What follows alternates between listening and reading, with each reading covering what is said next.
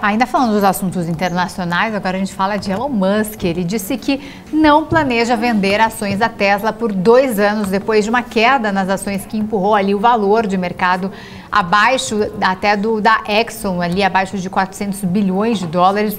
Musk acabou descarregando quase 40 bilhões de dólares este ano. O CEO da Tesla é a favor de uma recompra de ações assim que a economia se estabilizar. Ações de, da fabricante de veículos elétricos da Tesla caíram quase 9% ontem, à medida que os analistas ficam ali cada vez mais incertos sobre as perspectivas da empresa. Investidores pedem ao conselho de administração da Tesla que reorientasse Elon Musk para longe do Twitter, né? Eles falam que ele está muito focado ali no Twitter e de volta então para fabricante de veículos elétricos.